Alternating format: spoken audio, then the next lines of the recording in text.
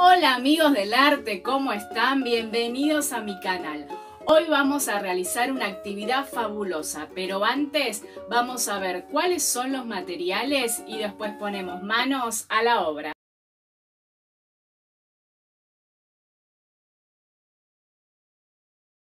De esta manera nos va a quedar terminado nuestra casa histórica de Tucumán. Ahí abrimos las puertas y vemos al personaje. Cuando lo cerramos desaparece. Si abrimos la casa vemos el personaje entero y algunos de los muebles que tiene adentro. Para realizar esta casa histórica de Tucumán vamos a usar solo la mitad de una hoja número 5. ¿sí? Tomo solo una parte. La voy a doblar por la mitad, haciendo que coincidan los extremos, las puntas. Entonces, doblo, pongo en la posición en que coinciden, ¿sí? Una vez que ya está, lo giro para que lo vean mejor. Lo que hago es presionar con los dedos para que aplaste bien del otro lado, ¿sí? Fíjense. Ahora la vamos a girar y vamos a dejar la parte cerrada hacia arriba la que doblamos y la parte abierta hacia abajo. Tomamos la regla y vamos a medir de cada lado 3 centímetros. Recuerden que se mide desde el cero. Medimos del lado izquierdo, después del lado derecho. Y una vez que ya tenemos esas marquitas listas, vamos a tener que usarlas para apoyar sobre ella la regla. ¿Sí? Entonces, buscamos la regla otra vez, apoyamos que quede bien derechita la regla y vamos a doblar ¿sí? sobre la regla ese lado. Bien, presionamos para que se marque bien. Una vez que ya presionamos y quedó marcado, pasamos al otro lado. Buscamos la marca, apoyamos sobre la marca y doblamos nuevamente repitiendo la misma operación. Presionamos bien sobre la regla para que quede la marca, sacamos la regla a un costado y nos tiene que quedar de esta forma. Arriba de lo que doblamos, vamos a volver nuevamente a doblar, pero formando un triángulo. ¿sí? No nos debemos pasar de la marquita que nos quedó, que hicimos con la regla, que nos quedó del doblez. ¿Sí? No debemos hacer un triángulo más grande que eso, ¿sí? Entonces, tratamos de apoyar ahí el dedo para guiarnos y no pasarnos. Presionamos bien una vez que hicimos el doblez y nos quedó el triangulito. Lo vamos a dar vuelta y ese triangulito lo vamos a volver a doblar hacia el otro lado, ¿sí? Para que nos quede bien la marca. Ahora, cuando terminemos, van a saber para qué nos sirve este triangulito que doblamos hacia un lado y hacia, el otro. ¿Sí? Ahí lo vuelvo a plegar. Abro. ¿Sí? Los despliego hacia los costados. Abro. Ahí está. Y ahora sí, esos triangulitos, ¿sí? Ese triangulito se va a ir hacia adentro. Con el dedo voy a empujar hacia adentro, ahí de esa forma. Y ahora van a ver cómo queda. ¿Sí? Ahí está. Y nos va a quedar así. ¿Ven la diferencia de un lado y del otro? Bien. Volvemos a abrir otra vez y vamos a repetir la misma operación que hicimos ponemos el dedo, empujamos hacia adentro, ¿sí?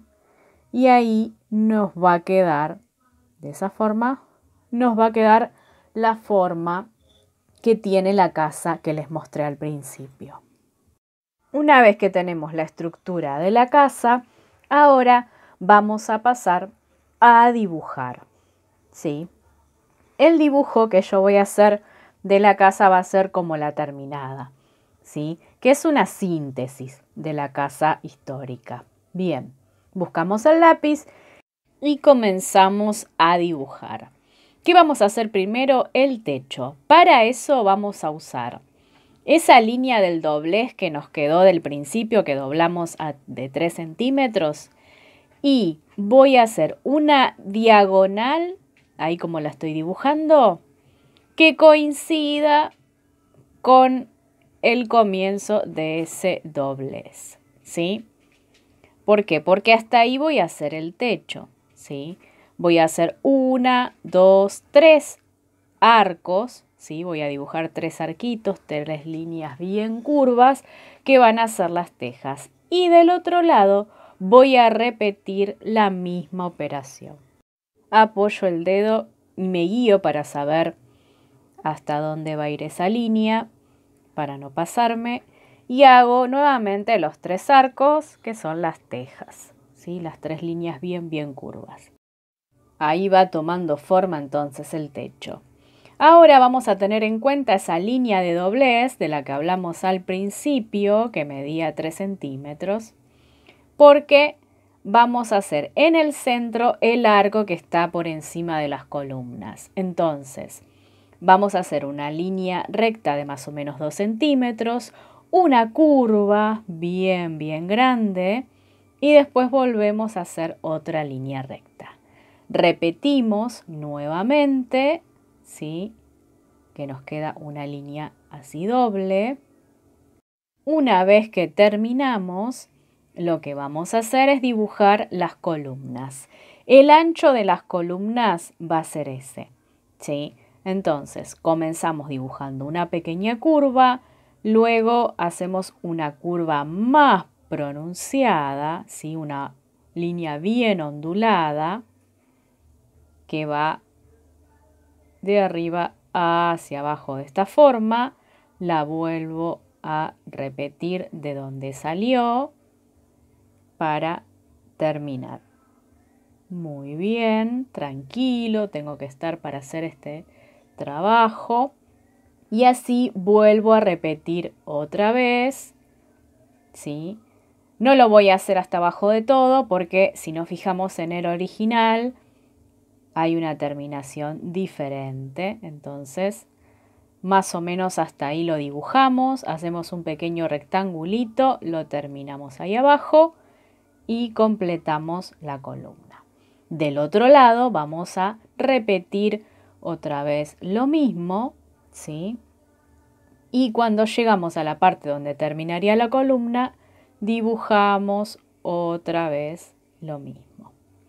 Para realizar la puerta hago una línea en el centro, ¿sí? una línea bien derechita, y luego voy a marcar el ancho de la puerta, ¿sí? que va a ser más o menos hasta ahí, y con la regla hago, ahí está, una línea recta. Lo mismo voy a dibujar del otro lado, y la puerta arriba termina en una curva, ¿sí? Bien. Ahora lo que me toca hacer es el detalle de la puerta, como tiene el original. ¿sí? Vamos dibujando, entonces son tres. Ahí dibujamos los tres de un lado, tres del otro lado. ¿Sí? Lo puedo hacer con regla o a mano, como estoy haciendo yo a mano alzada. Y ahora vamos a las ventanas. Dibujamos las ventanas y lo que estoy haciendo es marcar la altura y la posición que van a tener las ventanas. Entonces, hago un arco en la parte de arriba, dos líneas a los costados y abajo la base de la ventana. Las rejas, yo le voy a hacer dos arabescos para adorno. Repito otra vez la misma operación para hacer el dibujo de la otra ventana. Y una vez que terminé, voy al techo. Voy a hacer dos diagonales de un lado y dos del otro, marcando las tejas ahora con líneas curvas de cada uno de los lados. Y vamos terminando con la parte del dibujo del exterior de la casa. ¿sí? Ahora nos falta el interior. Con la fibra negra voy a remarcar todo lo que dibujé. Yo les recomiendo que utilicen una microfibra negra. Voy a borrar todo, ¿sí? Una vez que se secó y voy a empezar a pintar. Voy a pintar el techo, las ventanas y la puerta, ¿sí? Entonces, comenzamos por las puertas. de verde con fibra, crayón, lápiz de color, lo que cada uno tenga para pintar. Luego pintamos las ventanas. Tengan en cuenta que si pintan con fibra hay que dejar un tiempito de secado, ¿sí? Para no pasar la mano y que nos quede todo manchado. Pintamos también el techo y ahora vamos a repasar, ¿sí? A darle grosor a algunas partes de las líneas que dibujamos y hacerle algunos detalles, como le hice yo, con estas eh, pequeñas líneas como de sombra, ¿sí? pequeñas rayitas que le hice adentro. Voy a repasar lo que quiera que sea más grueso, le hago un borde ¿sí? a las tejas también, ahí para hacerle una sombra. Lo que hice fue hacer una, una línea curva más gruesa ¿sí?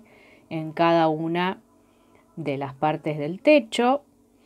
Y así voy repasando. Para hacer las columnas yo las repasé con una línea más gruesa, le di un valor a la línea, un grosor, y después le hice en los bordes unas pequeñas líneas curvas, ¿sí? Para dar ese aspecto de sombra, ¿sí? Y que tengan como un volumen, ¿sí?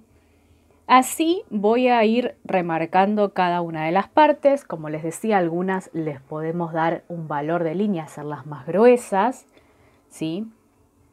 y otras las podemos dejar como están, a gusto de cada uno. Ahora vamos al arco de la parte de arriba. Recuerden que esta es una síntesis, un dibujo sintético de lo que es la casa histórica, ¿sí? Así que no es exacta, exacta, ¿sí? Pero podemos reconocer a la casa en esta representación, ¿bien?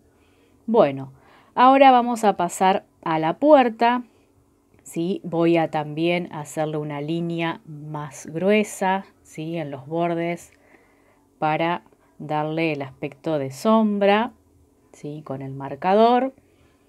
Y una vez que terminé de hacer todos estos detalles, voy a pasar a realizar el corte de la puerta, ¿sí?